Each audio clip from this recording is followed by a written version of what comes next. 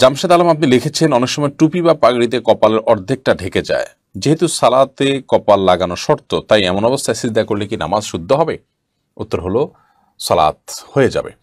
কারণ আপনি যখন সেজদায় সেজদার সময় আপনি কপাল মাটিতে রেখেছেন বা ফ্লোরে রেখেছেন তখন তার উপরে সামান্য আবরণ টুপি বা রুমাল কিংবা পাড়ির কারণ হয়েছে। পাখির কারণ হলে এটার কারণে যে কপাল লাগেনি ব্যাপারটি সেরকম নয় কপাল লেগেছে কাপড় সহ লেগেছে, জাস্ট এইটুকু আর কি। কপাল লাগার অর্থ এই নয় যে সেটাকে একেবারে কাপড় চোপড় সব কিছুতে সরিয়ে একেবারে ফ্রেশ কপালটাই লাগাতে হবে। ব্যাপারটা এরকম নয়।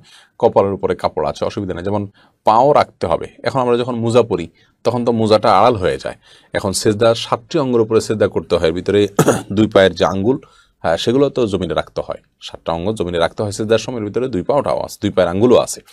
তো দুই পায়ের আঙ্গুলগুলো তো মোজাতে আবৃত থাকে। তো সেই অবস্থা আমাদের নামাজ কি হয় না? অবশ্যই হয়। তো ঠিক একইভাবে আপনার টুপি যদি মাথায় থাকে, এটা কপালে চলে আসে এবং তার উপর আপনি সিজদা করেন, তাতেও আপনার কপাল উপরে সিজদা করেছেন, ধরা হবে, কোনো অসুবিধা নেই, ইনশাআল্লাহ। তাহলে সাইফুল ইসলাম আপনি লিখেছেন, আম- আমার তিন ভাই, তাদের ছেলেমেয়েরা আমাদের যথাক্রমে বড় বাবা, মেজো বাবা ও ছোট বাবা ডাকে। সন্তানরা আবার তাদের পিতাদের আব্বু বলে সম্বোধন করে। এখন তারা যে আমাদের বাবা ও নিজের পিতাকে আব্বু বলে, তাতে শরীরের কোনো বাধা আছে কি না সাইফুল ইসলাম ভাই এর আগে আমরা এই উত্তরটি একাধিকবার দিয়েছি, আবারও বলছি যে এতে কোনো অসুবিধা নেই, ইনশাআল্লাহ বিদিনিল্লাহ কারণ এটি রূপক অর্থে বাবা বলা হয়। আল্লাহ তালা যে কোরআন কারিমে বলেছেন উদৌহমলি আবা ইহম হুয়া আকুসাতু তোমরা তোমাদের সন্তানদের কথা আল্লাহ বলেছেন, তাদেরকে তাদের বাবার সাথে সম্বন্ধ করে ডেকো।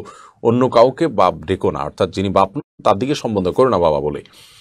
তো এটি আল্লাহর কাছে অধিকতর ন্যায়সঙ্গত ইনসাফ সম্মত তো এর মানে হলো অন্য কাউকে বাবা হিসেবে পরিচয় দেওয়া। যেমন পালক পুত্রের ক্ষেত্রে দেখা যায়, যিনি জন্মদাতা, তার পরিচয় না দিয়ে যিনি লালন পালন করেছেন, তাকে বাবা দেখিয়ে কাগজপত্র করা হয় এবং তাকে তার বাবা বলে ডাকা হয়, সম্বোধন করা হয় ড্রেস করা হয়। তো এই ব্যাপারে আল্লাহ বল আলমী নিষেধাজ্ঞা আরোপ করেছেন। বাট আপনার যেটি আপনি বলেছেন এখানে ছোট আব্বা, বড় আব্বা, বা ছোট বাবা, বড় বাবা, চাচা যেটাকে বলা হয়, এর মানে সবাই জানে যে ওনারা চাচা এবং জেঠা বাবার ভাই, ছোট ভাই, বড় ভাই, তাদেরকেই এটা বলা হচ্ছে। অর্থাৎ এই বাবা, ছোট বাবা বা বড় বাবা বলে কি বোঝানো হয় সেটি কিন্তু পরিষ্কার। তো এটি নির্ভর করে যে আমাদের প্রচলনে কি বোঝানো হচ্ছে। এখানে তো জন্মদাতা পিতার বোঝানো হয় না কোনো সমাজে। যেহেতু কেউই বোঝায় না এবং কেউ বোঝেও না, অতএব শরীরে যেটা নিষিদ্ধ, এটা তার মধ্যে পড়বে, এটা রূপকর্থে বলা হয়। এরপরে আশরাফ আলম আলভি আপনি লিখেছেন, নিজের ভিতর ইমান বৃদ্ধি করব কীভাবে? আল্লাহর ভয় কীভাবে নিজের ভিতর প্রবেশ করাবো? আমার তো নামাজের প্রতি অনীহা। ভাই আশরাফুল আলম আশরাফুল ইসলাম, আপনি নিজের রোগটা ধরতে পেরেছেন, সেজন্য সন্দেহাতীতভাবে আল্লাহ শকর আদায় করা উচিত আপনার। আপনাকে আমরা সাধুবাদ জানাই। এরপর দ্বিতীয় কথা হলো যে, আপনি রোগ ধরতে পেরেছেন, এখন এখন খুব দ্রুততার সাথে ট্রিটমেন্ট শুরু করে দিন। আর এই ট্রিটমেন্টের অংশ হিসাবে ইমান বৃদ্ধি করার জন্য আপনি আল্লাহর কালামকে তেলাওয়াত করুন, পাঠ করুন। আল্লাহ বলেছেন ওয়াইদাতুলিয়াত আইহিম আয়াতুম, আয়াতুনা জাদাতুম ইমানা যখন আল্লাহর আয়াত মানুষের সামনে তেলাওয়াত করা হয়, পাঠ করা হয়, তখন তাদের ইমান বৃদ্ধি পায়। আল্লাহর আয়াত বলতে কোরআন কারিমের আয়াত এটি যেমন আছে, আল্লাহর বিভিন্ন নিদর্শন আছে, কুদরতের, সেগুলো নিয়ে আপনি পড়াশোনা করতে পারেন। কোরআনটা বুঝে বুঝে পড়লে ইমান বৃদ্ধি পাবে। ইমান বৃদ্ধির অনেকগুলো উপায় আছে।